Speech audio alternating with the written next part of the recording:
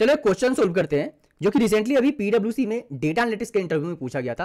Question बहुत ही easy है you just need to work on the logic building skills question क्या है वो समझते हैं। सो so, एक लिस्ट मेंशन था। लिस्ट के अंदर कुछ वैल्यू था like one three four two two three हमें रिटर्न करना था all the duplicate integer in the form of list so अगर आपको पता होगा पाइथन में एक डेटा स्ट्रक्चर होता है दैट इज़ कॉल्ड सेट और सेट क्या करता है? हमारे डेटा से यूनिक वैल्यू को फाइंड आउट करता है। सो so, हम लोग क्या करेंगे यहाँ पे? हम लोग यहाँ पे सेट यूज़ करके इजीली जो है डुप्लीकेट डेटा को लिस्ट के फॉर्मेट में प्रिंट कर सकते हैं। कैसे? समझते हैं।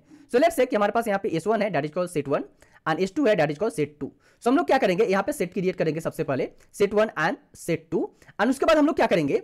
जो भी हमारे पास डेटा है लिस्ट के फॉर्मेट में इस लिस्ट के डेटा को हम लोग एक एक करके आइट्रेट करेंगे एंड अगर वो डेटा सेट वन के अंदर प्रजेंट नहीं है तो उसको प्रजेंट करेंगे। अगर प्रजेंट है तो वो डुप्लीकेट है इट मीन उसको इस टू के अंदर हम लोग पुश कर देंगे। कैसे? स्टार्ट करते हैं। तो so, सबसे पहले वन से स्टार्ट करते हैं first variable so one available नहीं है। यहाँ पे वन आ जाएगा सेट वन के अंदर। अगेन थ्री अवेलेबल नहीं है सो so थ्री आ जाएगा। अगेन नेक्स्ट फोर अवेलेबल नहीं है सो so फोर आ जाएगा। अगेन टू अवेलेबल नहीं है सो so टू आ जाएगा। अगेन टू है हमारे पास एंड टू एस के अंदर प्रजेंट है। तो इसको हम लोग कहाँ पे पुश करेंगे? एस के अंदर पुश करेंगे। अगेन थ्री थ्री जो है प्रजेंट हमारे पास एस के अंदर। सो so थ्री को भी हम लोग पुश करेंगे कहाँ पे?